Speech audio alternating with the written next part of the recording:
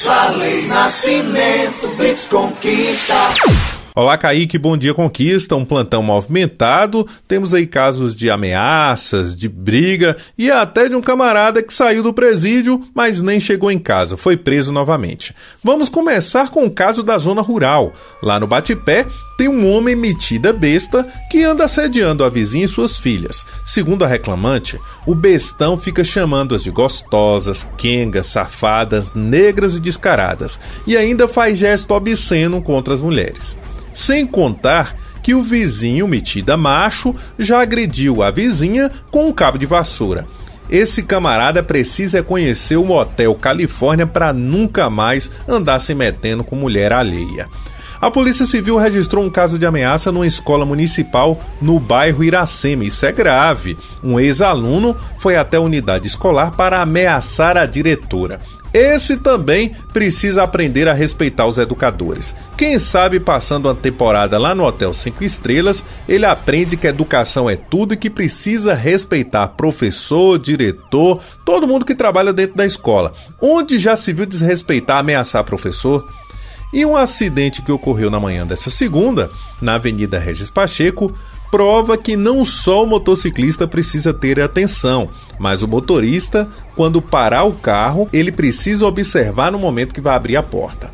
O motorista estacionou o carro e não olhou no retrovisor antes de abrir a porta. Não deu outra.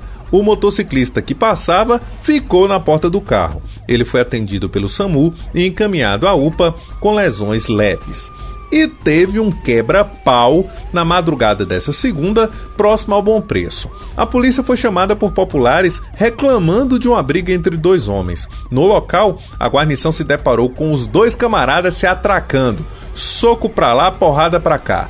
O motivo, até agora ninguém sabe o que foi. Só disseram que tudo começou com bate-papo. Já pensou se todo bate-papo terminasse em briga? Sei não, viu? E tem criminoso que se esforça para ser preso. Marcos de Jesus Oliveira é um desses. Ele saiu do presídio e conseguiu a façanha de ser preso antes de chegar em casa.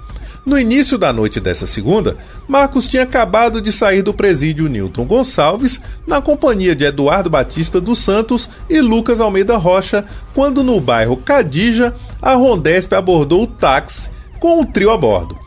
De acordo com a polícia, Marcos e Eduardo foram flagrados armados com revólveres municiados e no casaco de Lucas, os militares teriam encontrado algumas munições. Em continuação à diligência, as guarnições da Rondesp seguiram até a residência de Eduardo, onde apreenderam balança de precisão, várias petecas da erva do satanás, pinos de cocaína e poções de crack. Todos os suspeitos foram apresentados no DIZEP e autuados em flagrante. Agora, Marcos retornará para a prisão, mas em um novo endereço. Ele será encaminhado ao Conjunto Penal de Vitória da Conquista.